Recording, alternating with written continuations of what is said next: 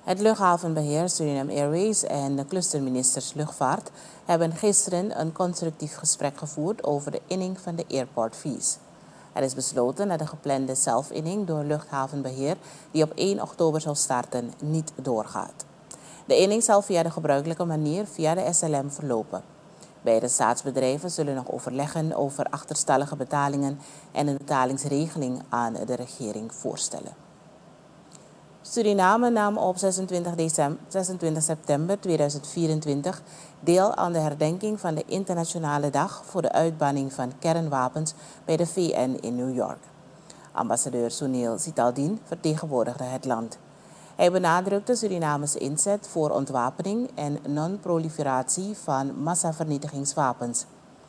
Suriname, dat sinds 1993 aangesloten is bij het verdrag inzage biologische wapens, heeft in 2023 de Non-Proliferatieautoriteit opgericht.